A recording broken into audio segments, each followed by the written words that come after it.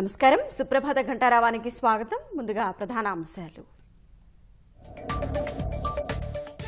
బోర్డుల పరిధిలోకి కృష్ణా గోదావరి ప్రాజెక్టులు. గెజిట్ విడుదల చేసిన కేంద్ర జల్ శక్తి మంత్రిత్వ శాఖ.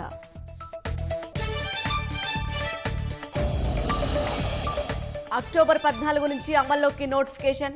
అనుమతి లేని ప్రాజెక్టులకు ఆరు నెలల గడువు.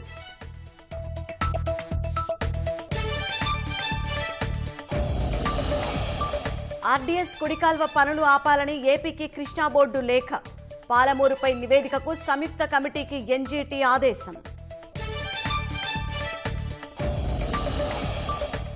ఎకరా అరవై కోట్ల ధర పలికిన హైదరాబాద్ కోకాపేట భూములు ఇవాళ ఖానమెట్లోని పదిహేను ఎకరాలకు ఈ వేలం.